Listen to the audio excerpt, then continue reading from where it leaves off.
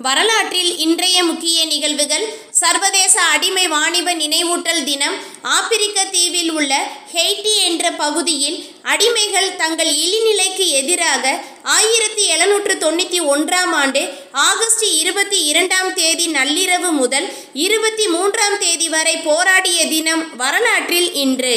அடிமை வாணிப முறையை ஒழிக்க முதன் முதலில் போராட்டம் நடைபெற்ற ஹெய்ட்டியில் ஆயிரத்து தொள்ளாயிரத்து தொண்ணூற்றி எட்டாம் ஆண்டு ஆகஸ்ட் இருபத்தி மூணாம் தேதி அன்று நினைவு தினமாக கடைபிடிக்கப்பட்டது. இதனைத் தொடர்ந்து ஒவ்வொரு ஆண்டும் இத்தினம் அனுசரிக்கப்படுகின்றது.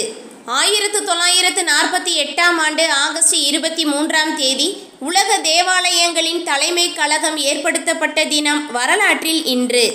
டி. எஸ். பாலையா தமிழ் திரையுலகின் ஒரு பழம்பெரும் நடிகர் டி எஸ் பாலையா ஆயிரத்து தொள்ளாயிரத்து பதினான்காம் ஆண்டு ஆகஸ்ட் இருபத்தி மூன்றாம் தேதி தூத்துக்குடி மாவட்டத்தில் உள்ள சுண்டங்கோட்டை என்ற ஊரில் பிறந்த தினம் வரலாற்றில் இன்று இவர் திருநெல்வேலியைச் சேர்ந்தவர். இவர் இளம் வயதிலேயே நடிப்பின் மீது அதிக ஆர்வம் கொண்டிருந்தார். அதனால் பல நாடக கம்பெனிகளில் சேர்ந்து பல்வேறு வேடங்களில் நடித்து சிறந்த நடிகராக உருவானார். ஆயிரத்து தொள்ளாயிரத்து முப்பத்தி ஆறாம் ஆண்டு சதிலீலாவதி என்ற திரைப்படத்தில் வில்லனாக அறிமுகமானார். இவர் துவக்க காலங்களில் வில்லன் வேடங்களில் முத்திரை பதித்திருந்தார்.